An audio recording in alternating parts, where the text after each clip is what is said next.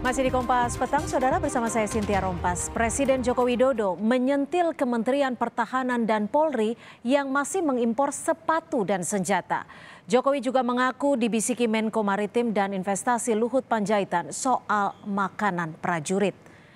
Dalam acara di Istora Senayan, Jakarta, Jokowi mempersilahkan mengimpor alutsista seperti pesawat tempur yang belum bisa diproduksi di dalam negeri.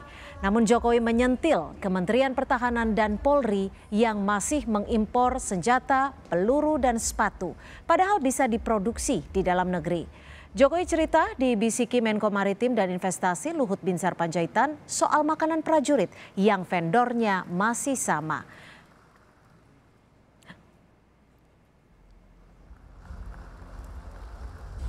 Kalau senjata,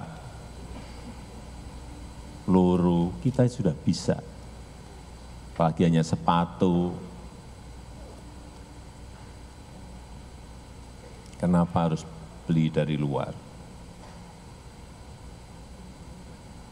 Makanan prajurit,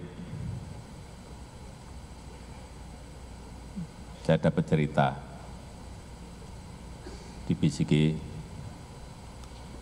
Pak Jenderal Luhut Binsar Panjaitan. Pak Presiden, saya sejak jadi tentara sampai pensiun dan sekarang jadi menteri,